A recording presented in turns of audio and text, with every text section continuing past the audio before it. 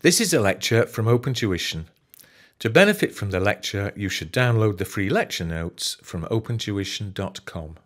As businesses increase in size, many decide to split themselves into divisions. It's extremely common. You get a North American division and a European division. You get maybe a commercial vehicles division and a motor car division. Now, why does this happen? Well, one of the main reasons is specialization. Uh, if you're selling uh, something into America, into Europe, and to Asia, in each of those markets you will be facing very different competitive forces, different competitors. Uh, you'll have to charge different prices, you'll have to advertise differently.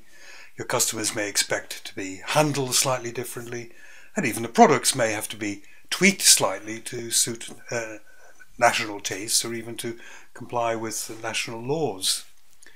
Uh, and it's much easier if you say, well, you look after the American market, you look after the European market, you look after the Asian market. People specialize, they get to know their market really well. It's always natural. Uh, natural, perhaps, another way of uh, uh, divisionalizing is based on what you do. Uh, so it is uh, quite common to have a manufacturing division uh, and then a selling division. Uh, and the manufacturing division has its own skills, its own suppliers, its own techniques, its own type of recruitment and training and uh, health and safety concerns. whereas the, the selling division is quite separate, could, could indeed be located abroad or certainly geographically separate. And again, it's probably more natural in many ways not to push these together uh, and to insist that they're all under, in a way, one company. And you may get better management coming from really the, the specialization here. How, could one manager, uh, for example, uh, be an expert in three or four different markets, be an expert in manufacturing and uh, so on, maybe be an expert in, in, in two radically different products. Another basis of divisionalization is in the basis of product streams. Uh, so you could have one division which uh, is making products for the uh, business to business market, uh, selling to other businesses. They could be uh, products which are maybe got particular properties, particularly strong, styled in a particular way. And another division could be selling products which are aimed at the consumer division, so the styling, the, the pricing and maybe the quality might have to be different. And it also provokes rivalry, and within reason, rivalry is good, provided it doesn't become destructive. Uh, but if you have the uh, divisions competing, then it can spur them on to better performance than they might do individually. The downside of divisionalization uh, is that it is possible to have poor coordination uh, between the various divisions and perhaps poor decisions being made. Uh, the worst case of poor coordination that I ever came across uh, was in a, a, company which had grown by acquisition. It didn't kind of aim to be divisionalized, but it ended up that way. These uh, companies that were bought were kept pretty separate. Uh, and a large government contract came up, and two different divisions who didn't know each other were a division of the same uh, group began bidding against each other for that contract and they, they just kind of brought the, the price down by rivalry. If this uh, occurs, if these poor decisions uh, occur, uh, then they may often be known as what's called dysfunctional decision making.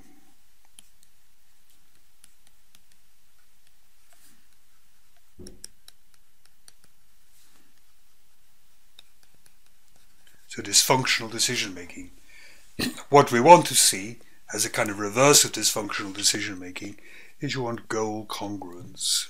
and goal congruence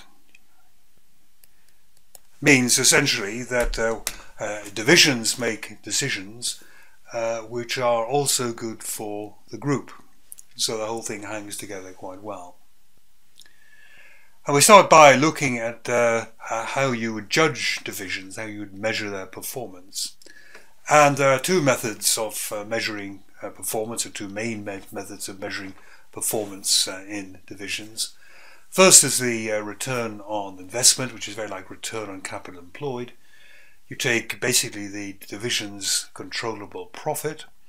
Uh, by that we mean the profit uh, after taking off costs that can be controlled by the divisional manager. It wouldn't be very fair if head office imposed lots of costs on a division, uh, reducing its profit, and then you berate the division for having poor profits. It's the controllable profit divided by the capital employed. So we're looking here at the division uh, essentially as an investment centre.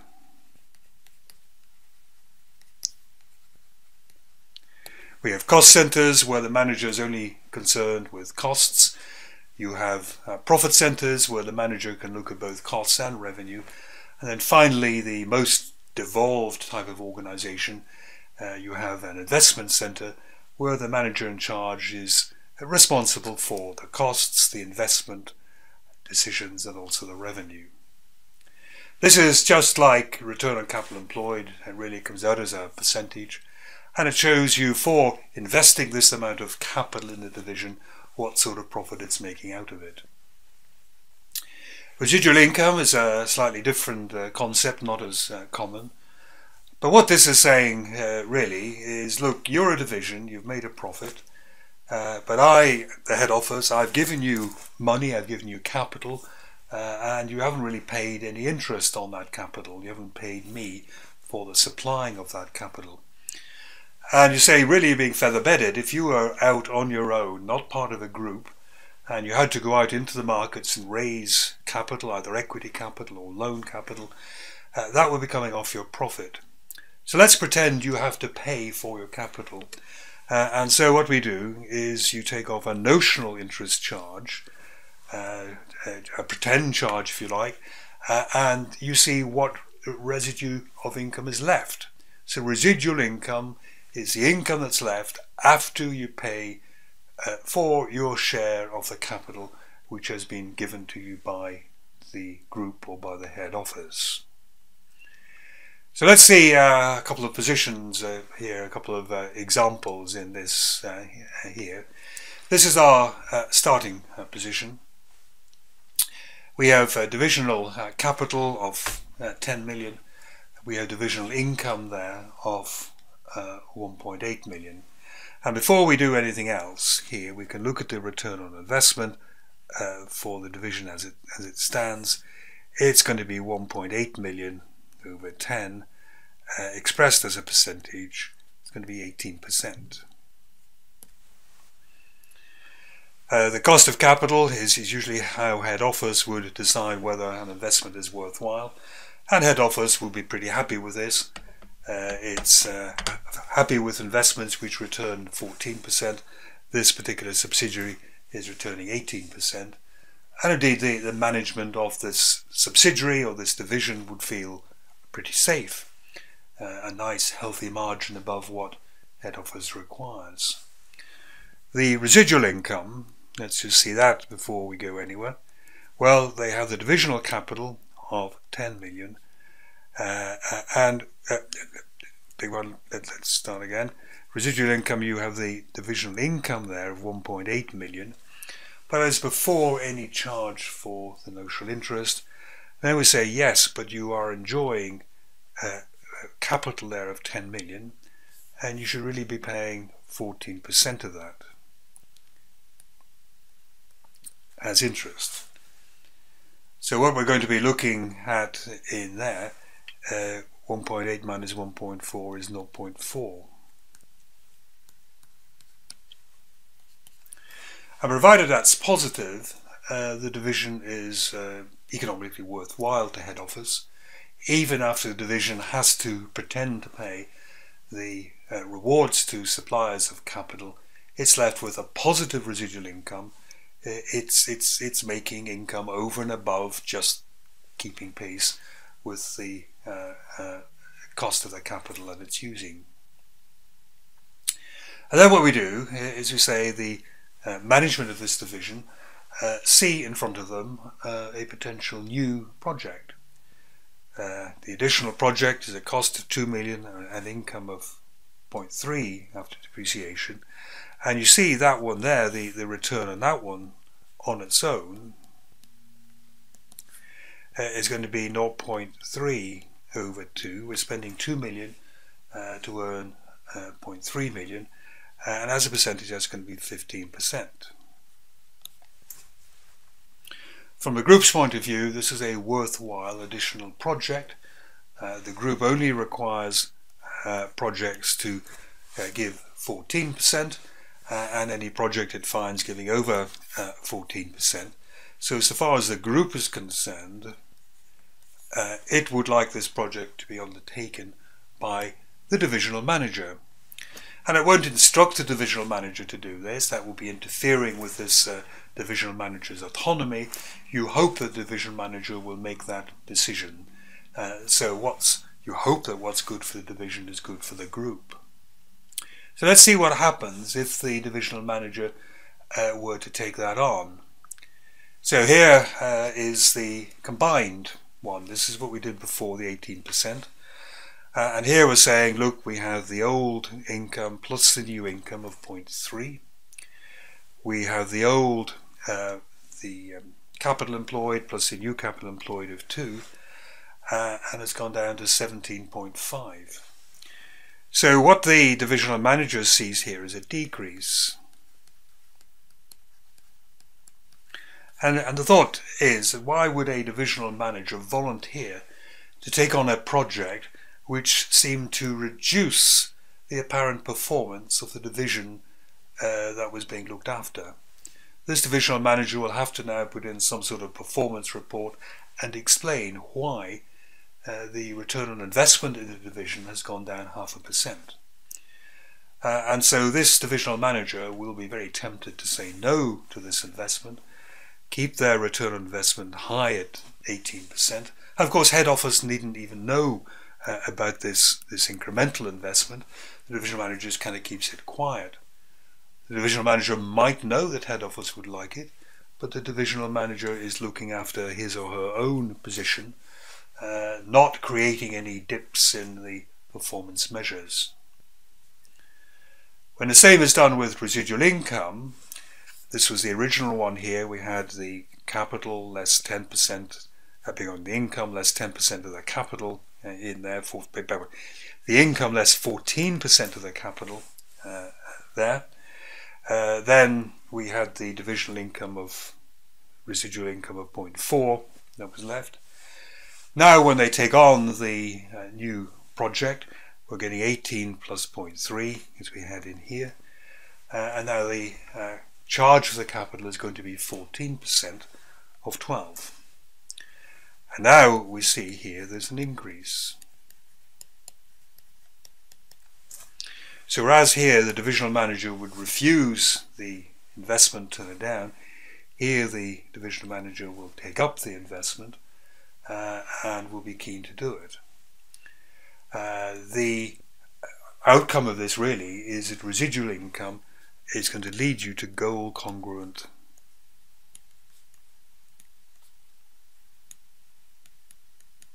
decisions. The risk with residual income, uh, big one, the risk with return on investment, there's a risk, it's not obviously guaranteed.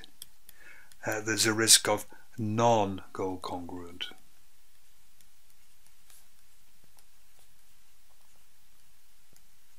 decisions.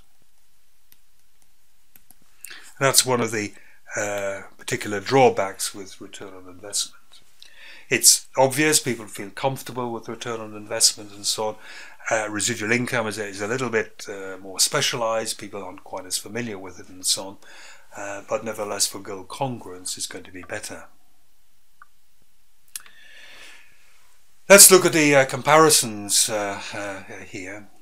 So, uh, uh, both favour older divisions. What do we mean by both favouring older divisions? Well, if you think about the capital employed in a company uh, and you think of something which is depreciating, so let's say we had a, a single asset in a company, in, in a, a division I mean, uh, which was 12 million. Uh, and that's going to be uh, equal to really the capital employed and it's going to have a life of four years. Well, you're depreciating it over four years.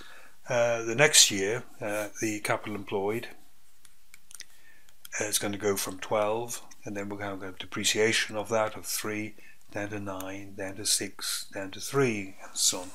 Every year that goes past, the net book value of this asset goes down, the capital employed in the division appears to go down.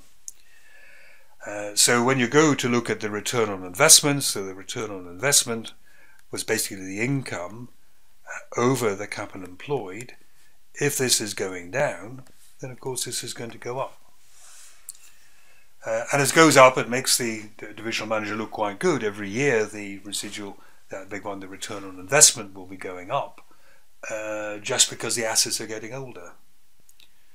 Uh, so if we had two divisions identical except for the age of the assets, uh, and one was uh, labouring under capital employed of uh, 12 and one that was two years old, had only a capital employed of six, then it's going to be much easier for the manager of the older division to look good.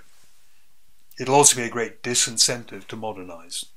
As soon as you modernize, your capital will go up again to the 12 and your return on investment will go down. This is also a problem uh, with your uh, residual income because the residual income uh, which you have it is a an interest charge based on the capital employed so your residual income is equal to the income minus uh, the cost of capital times the capital employed so that stays constant this stays constant but the capital employed, uh, again on this example, is going to be 12 in the first year, 9, 6, etc. This keeps going down, uh, so this will keep going up. So again, even uh, with residual income, uh, just by doing nothing every year, because your, your capital base is going down, uh, your notional interest charge will go down, your residual income will go up. It's also uh, some uh, difficulties of some of the divisions had a lot of leased assets, particularly operating leases, Uh, which aren't really going to appear on the statement of financial position. Uh, in an extreme situation, you could have a division almost making goods with no real visible non-current assets uh, at all.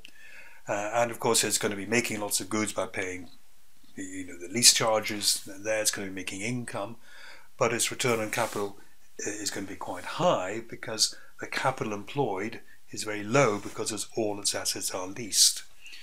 However, a, nearly identical division in terms of the assets which buys its assets has its statement of financial position kind of stuffed full of non-current assets, very apparent high uh, uh, capital employed. Return on, on investment, uh, the good things about that is it seems familiar, we're happy with return on capital employed and so on. You can compare it to a company target, so we were doing that. Uh, we said the company cost of capital was 14%, we were coming in at 18%, we were jolly happy there. It's very good at uh, uh, divisions of different sizes here, because what you're doing is you're taking the income over the capital employed. Uh, so if a division uh, simply doubles in size, or comparing two divisions uh, of different sizes, if one has income of um, uh, 20 uh, and let's say there's capital employed of 50, then it's coming out at what 20%. if you had one which was kind of twice as big, then if everything was, was going just as well, then of course it'd be 20%. So the managers of each division are kind of being judged on how well you are making use of the capital employed.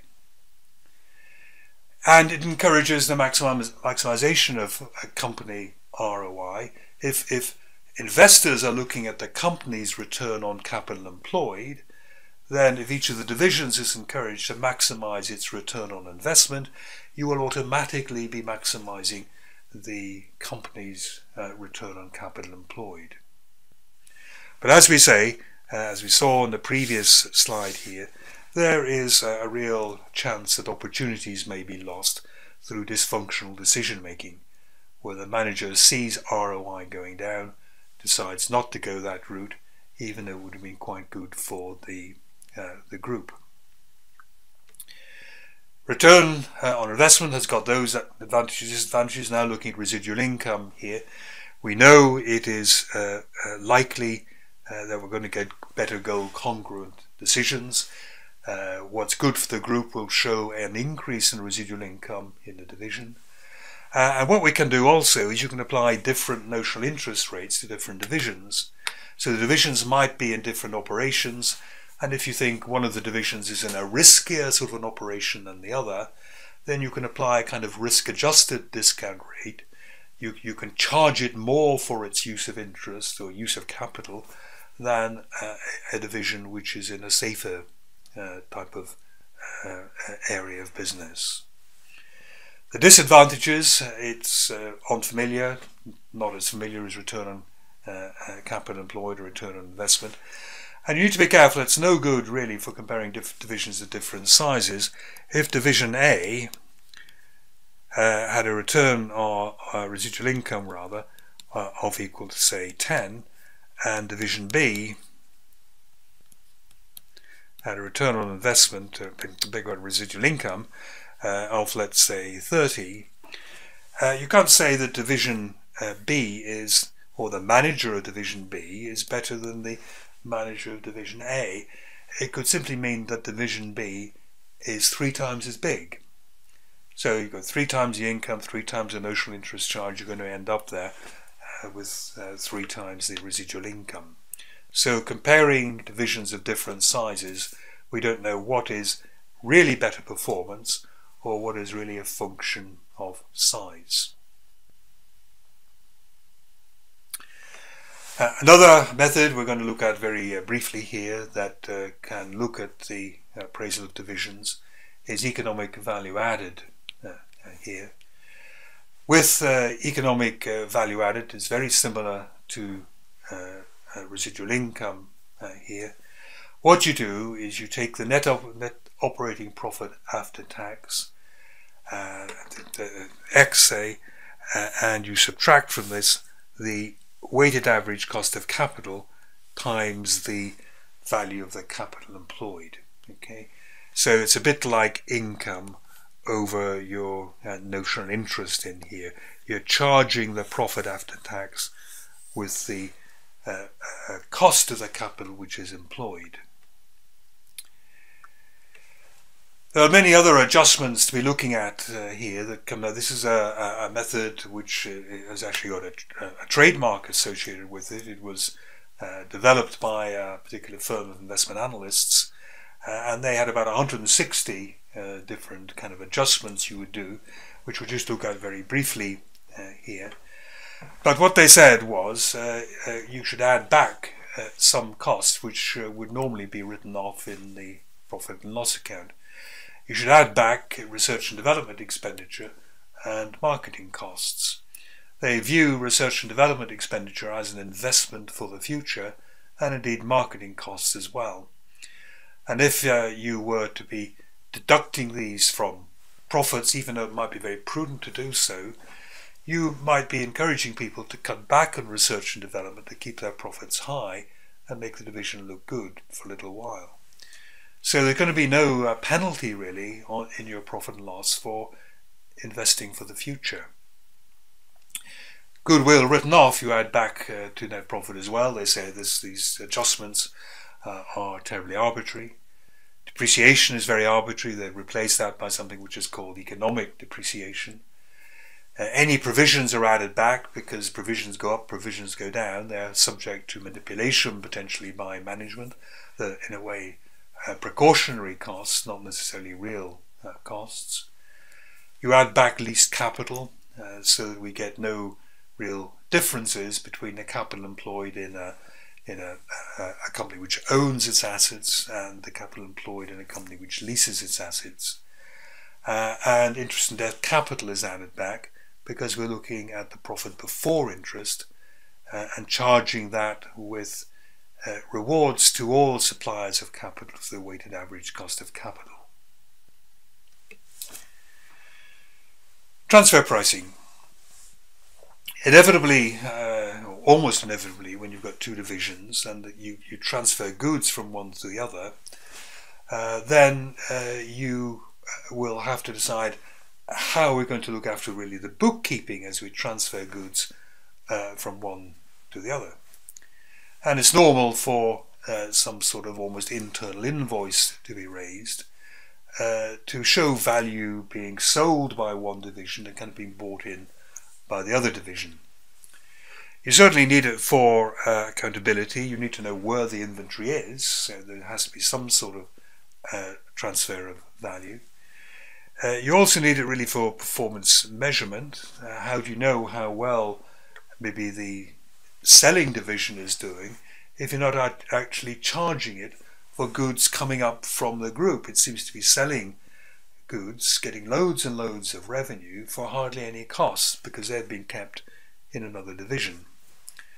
And controversially at the, the moment, uh, we have uh, taxation minimization. Many uh, large, particularly high-tech companies uh, seem to be shifting their profits around through different countries through transfer pricing uh, so that they remove profits from countries with relatively high tax uh, and shift those profits to countries with relatively low tax. What we like to see in a good transfer price uh, here is profits for each division because profits are motivating it's nice for managers to aim at a profit rather than to be kept to a cost target. We like goal congruence, in other words, we want the transfer prices to be such that it gets the divisions to make the right decisions that are good for the group.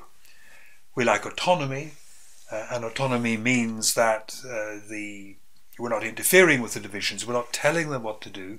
We set a transfer price and let them get on with it here. Uh, and the other thing I'll just put in here, they, they ought to be fair. Uh, particularly here when we're, we're looking at performance uh, measurement. Uh, divisional managers can get very kind of irritated uh, if they think uh, another division is buying materials in on the cheap from them, that another division is getting a, a, an easy ride, whilst they're finding it really hard to make profits. Let's uh, have a work through a number of examples on uh, uh, transfer pricing. Uh, the, the methods that are potentially at our disposal are these, cost plus. So in the transferring division, you add, let's say, 20% onto the cost. Market prices are, are, are, this could be a little bit arbitrary. Uh, there's a danger also that if you're doing cost plus, uh, uh, why save costs? So if you're a division, you're transferring to another division, you said, right, you will be getting cost plus 25%. The higher your costs, the higher will the 25% be, the higher your profit will be. Uh, and there's a very good argument for here, if you are going to be doing cost plus, make a cost plus maybe on the standard costs. So you make your profit based on the standard costs. If you over uh, go on the costs if you have too many costs, know, an adverse cost variance really, that cost variance is going to be left with you. All you can pass on to the next division is standard cost plus a profit. And in a way, of course, they are starting from a clean slate as well. They're not inheriting your inefficiencies. Uh, market prices are fine uh, if there is one. So it implies that the components going from one division to the other that the intermediary products, as we call it here, has actually got a market. But the great thing uh, here is it's perceived as being very fair.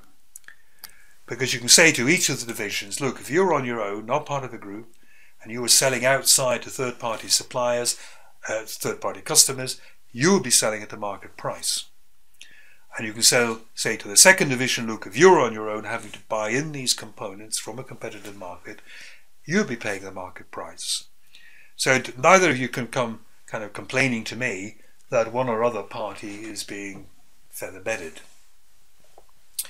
Marginal cost is uh, quite good uh, for uh, goal congruence. Because as uh, items go up through the group, they, they always just are transferred at the marginal cost so far. The end division has got a very good uh, view of kind of marginal cost versus marginal revenue and so on. The bad thing about it, however, there's no profit. If a, a company, uh, a division, transfers out at marginal cost, it will be left bearing the fixed costs. It's not a, a deal breaker, but we said it's quite nice if you can give each of the divisions some profit because it's motivating to aim towards a profit. To get round that, uh, you have marginal cost plus lump sum. What this means is that during the uh, the year you transferred marginal costs, so you've got quite good economic information going up through the division. And then at the end of the year, you do a series of journal entries really between the divisions where you transfer some more uh, money uh, from the buying division to the selling division, and this lump sum really is for the profit. So what you're trying to do is to separate out uh, here different elements of the transfer price.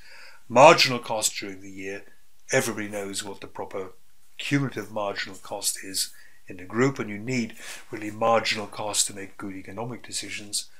Then at the end of the year, they get their reward uh, which is going to give them a bit of profit, which would encourage them, of course, uh, to sell more units. If you're only getting marginal cost, uh, you're not going to do any better by selling more units to the other division. Uh, you're just kind of standing still. You're still going to be just bearing your fixed costs. But if the lump sum was in some way geared to the volume of units you transferred up through the group, then there's everything to play for.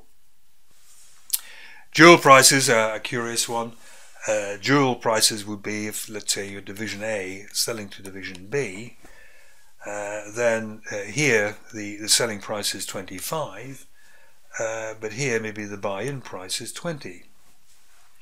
So what you've got in here is maybe some profit, and what you've got there is maybe just a marginal cost.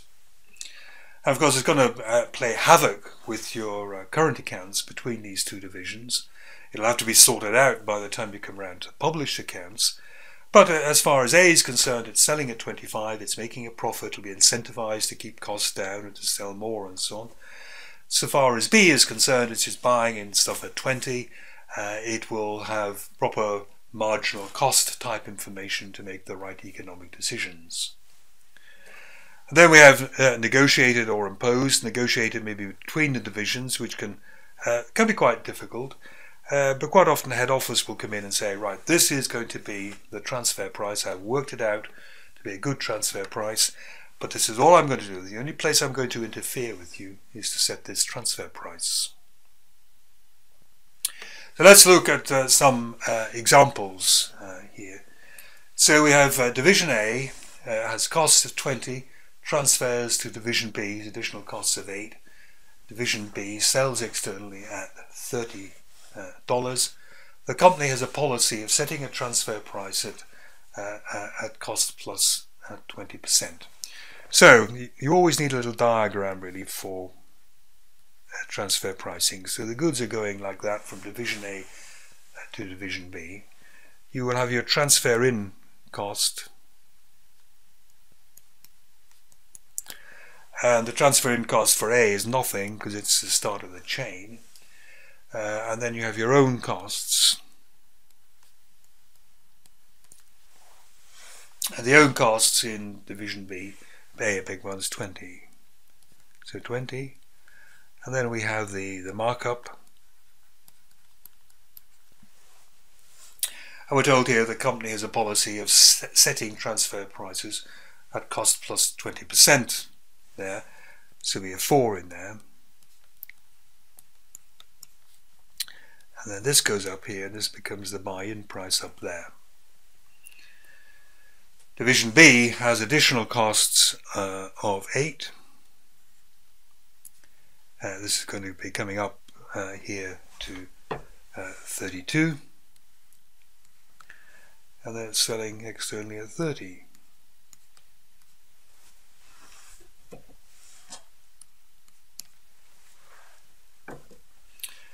Now that's not going to work. I think you can see that's not going to work.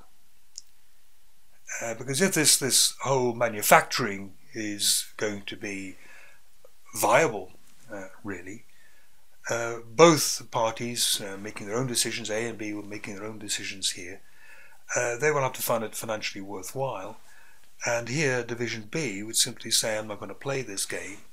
Why would I uh, incur costs? Because both of these costs are kind of being debited to Division B. Uh, why would I incur costs for 32? And these are marginal costs. Uh, every extra unit is causing costs of 32 only to get income of 30. And they would say, no, it will not work. So Division B wouldn't play ball here. You need both parties to be willing to play the game. Let's change it a little bit. Uh, let's say instead of selling externally at, at 30, Division B can actually sell at 36.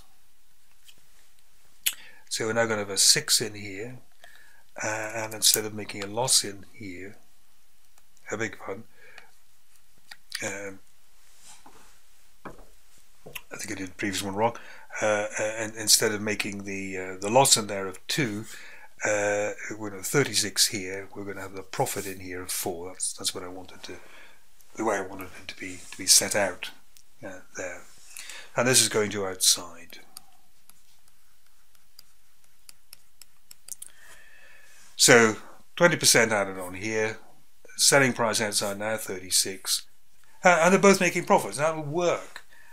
Uh, both divisions will be keen uh, on dealing with these goods because each of them perceives a profit of four. They might even think it's fair that the overall profit for the company and the overall profit for the company, well, the, the real cost to the company are 28. Uh, the real income to the company is 36.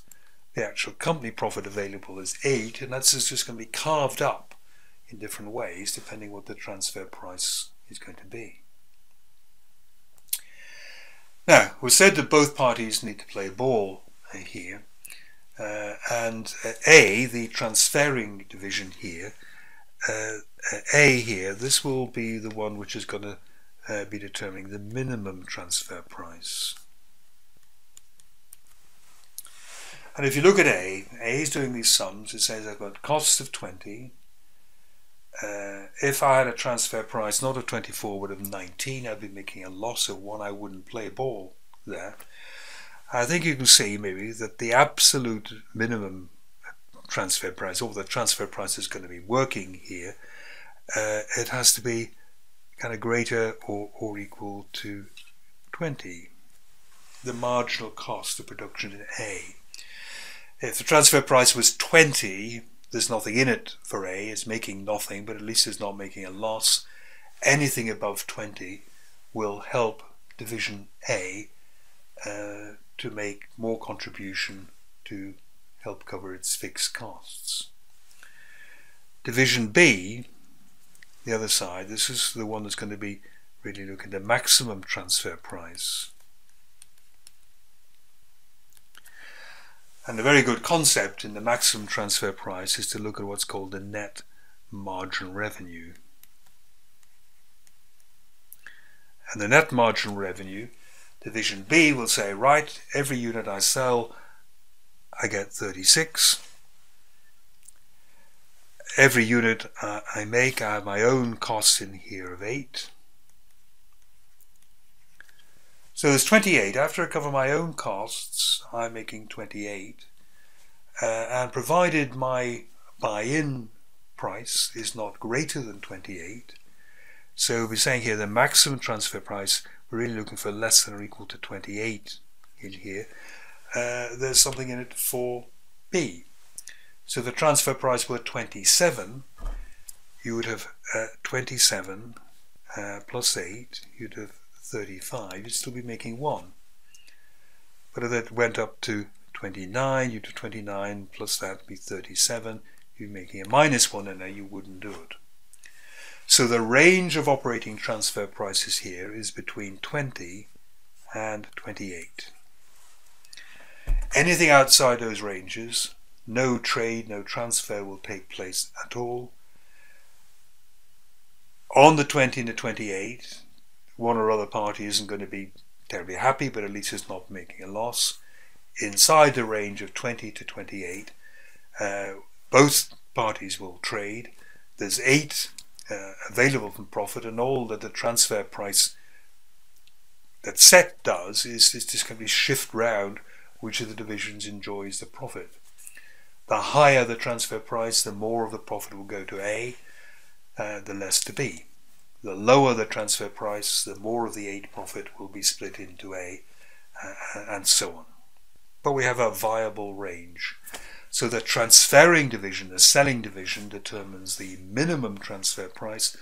The buying division is going to be determining the maximum transfer price. So let's uh, let's get a little bit more complicated uh, here. So again, our diagram here will, will it's always going to be the same. We have your your own costs, your transfer costs in here. So transfer costs. And own. So here we have division A, which is own cost of 15. So it's the first in the, the line. It is no uh, transfer in, so it's 15. Be a bit of profit that we don't know yet. And then transfer, transfer price. This will go up to kind of in there. Division B has additional cost of 10. We don't know what that is. Uh, and Division B selling externally uh, at 35. So this is going to the, uh, the public.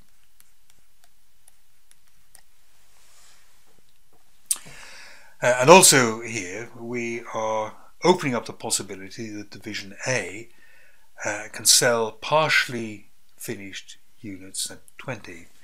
So as well as selling outside a transfer price here, it could also kind of go outside here or outside at 20. And it's important here that uh, A has unlimited production capacity and that there's limited demand from the external customers for the A, the intermediate product. So here you are, the manager of A, you're in the driving seat, uh, so to speak. You see two sources of revenue. You can sell outside at 20, or you can sell up through the group at whatever the transfer price is. Now see what would happen uh, if we put a transfer price here, we may change this in a moment, uh, let's say of 17. So you see I can either sell outside at 20 or up through the group at 17 uh, and you would rather sell outside at 20. You're making more profit selling outside at 20 than you are selling up through the group at 17. So you would be deflecting all of your production outside and this is where the capacities become important. There's limited demand from A, and we can make as much as is demanded. So we sell, sell, sell outside at 20, uh, and then we've satisfied that market entirely. And then we can turn our attention to the, the second best market. We will uh, be able then to keep supplying Division B with more product because we have unlimited production. And if we were offered 17 from uh, Division B as a transfer price, we would do it. Uh, the, the minimum, I think you can see the minimum transfer price in here for A is going to be 15. Provided the transfer price up here is at least 15, uh, we are not going to be making a loss. 17 will make us 2, 18 will make us 3, uh, but but at, at 14 would make us a loss. So the minimum transfer price we'll be willing to countenance in making and selling to B is going to be 15. In B, the maximum, looking to maximum uh, that, that B would be willing to uh, undertake, you've got revenue of 35, you've got costs of 10, at 25. The, this is a net marginal revenue. So provided the transfer price was not more than 25, uh, then B could still make a profit.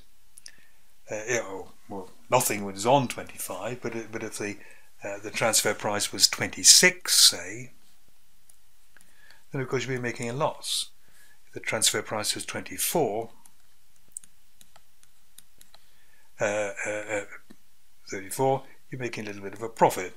So the, the, the, the, the, transfer prices on the edge is this net marginal revenue again. And here the range is going to be 15, 25.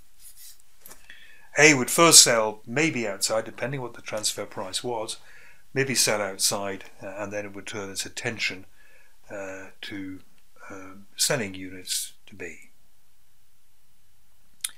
Now let's see what happens if this uh, changes, this, this uh, relative demand and relative production capacity changes. It has changed, changed here. Uh, it says there's limited, uh, uh, uh, it should be unlimited, it should say, unlimited demand externally from A, and there's limited production capacity uh, uh, that, that can be made in A. So it's unlimited demand outside, and limited production capacity is what we want in this.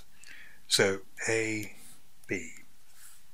So division A has got costs of 15, so we have own costs, we have transfer price, own costs, nothing in there, 15 that's as before, 15. Eh, it can still sell externally at 20 to a market which will absorb everything because it's unlimited demand externally uh, from A. There'll be a transfer price, there'll be a bit of a profit in there. Let's go up around in here, uh, whatever that is. Uh, we have the additional cost here of 10. And we don't know what that is, can know what the profit is, and it's selling outside of 35. Public.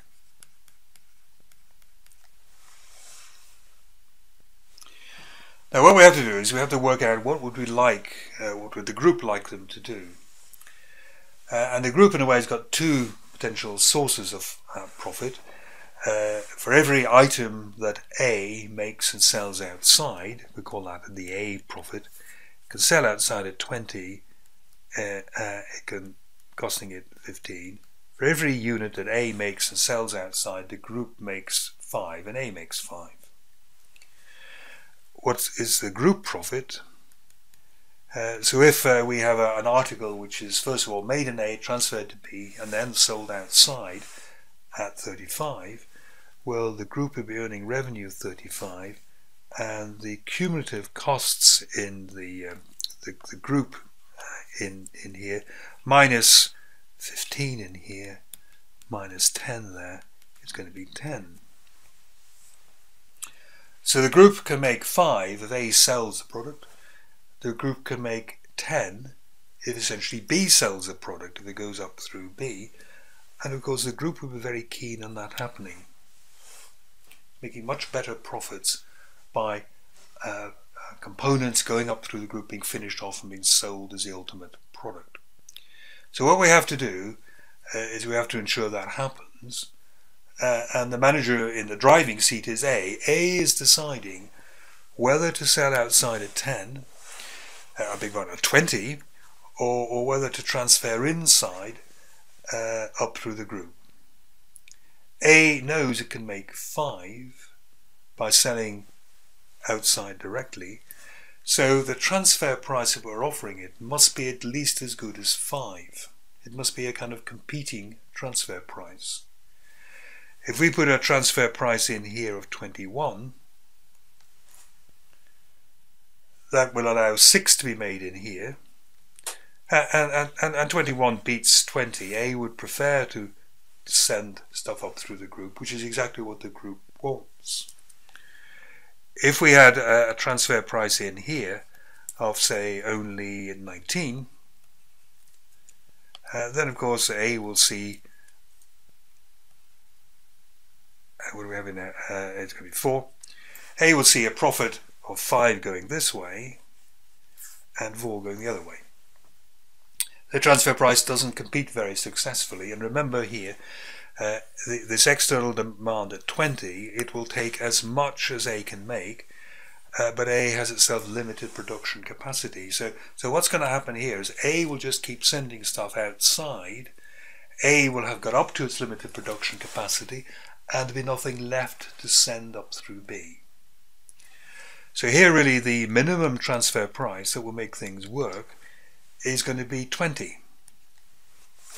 20 gives them a profit uh, of 5, gives A a profit of 5, but also it, it gives at least as good a profit as selling outside.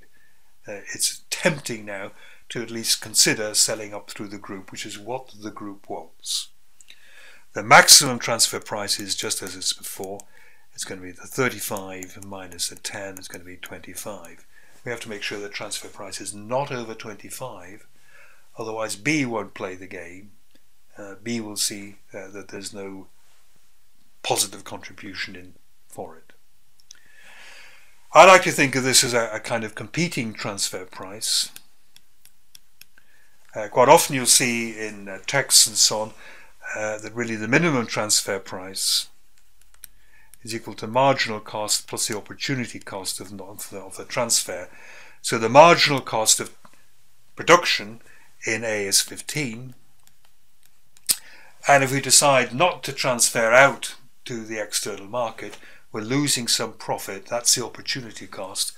And what we're losing is 20 minus 15. We need a kind of compensation to make us go up through the group there. And of course, it just comes back to 20. So you can think of it either way uh, here.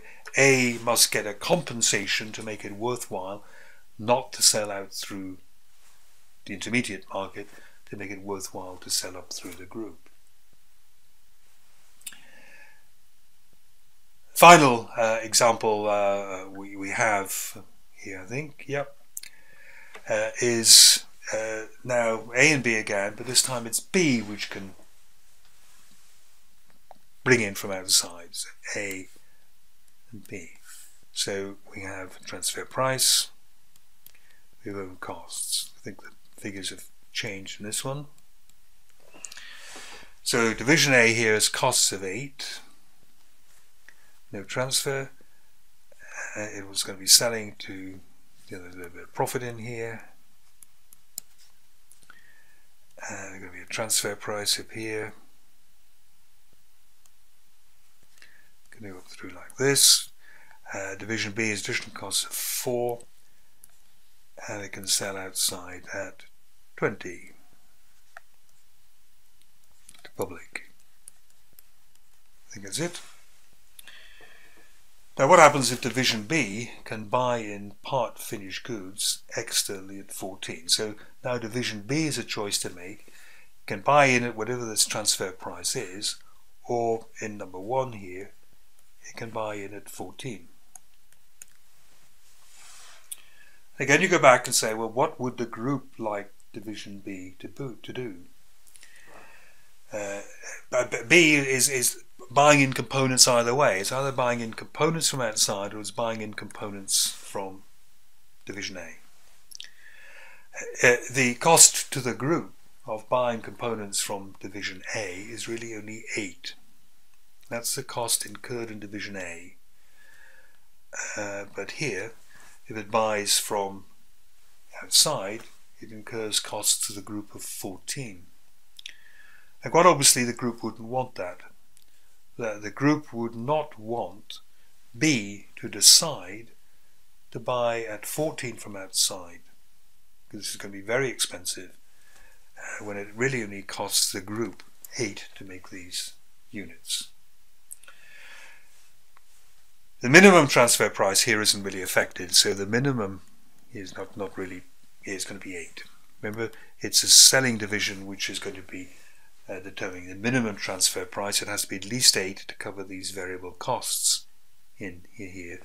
But the maximum transfer price uh, here, where we've got net marginal revenue of 22, uh, theoretically uh, anything up to 22 will make B buy in. But we, we, we, want, we, we want to make sure that the, the buy-in price here is at least com competitive with 14.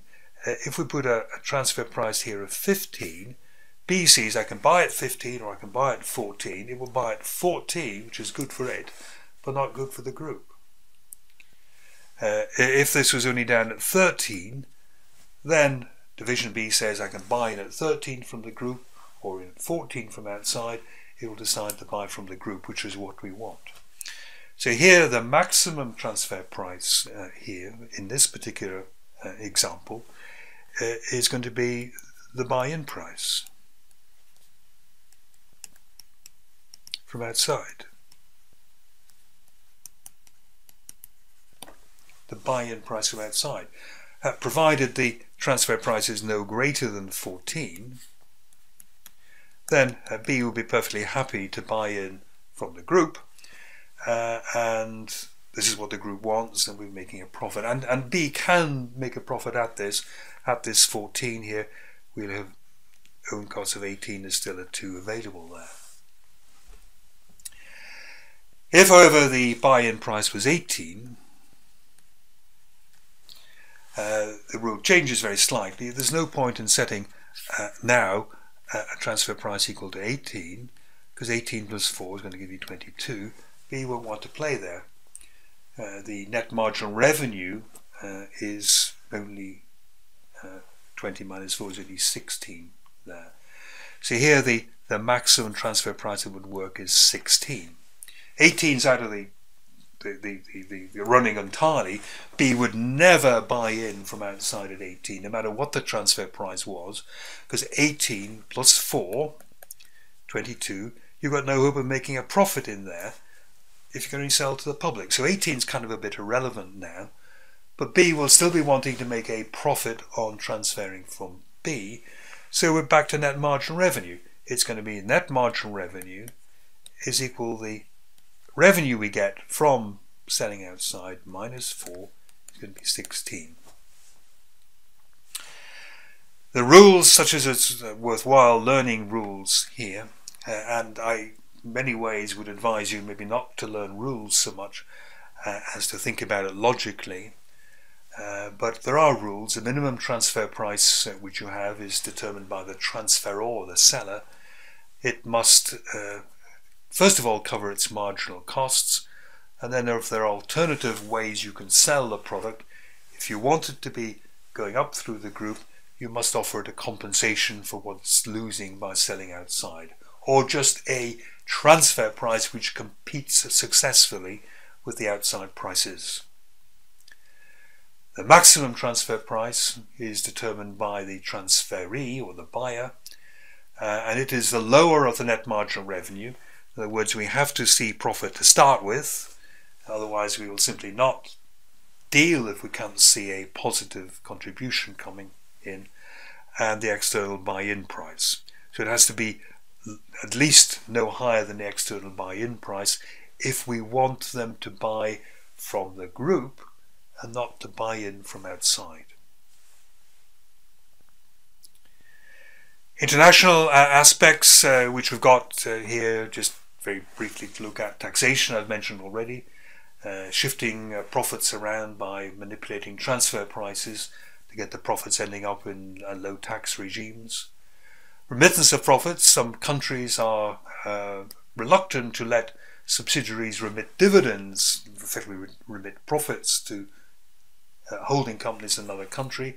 They say your subsidiary is in our country, it's made profits out of our people, we want this money to stay in our country, we won't let you pay dividends. Uh, so what you can do, uh, within reason, is to sell them components at a relatively high price, and they're basically paying for purchases uh, which most countries allow, and it's going to be reducing the profits that may be remittable.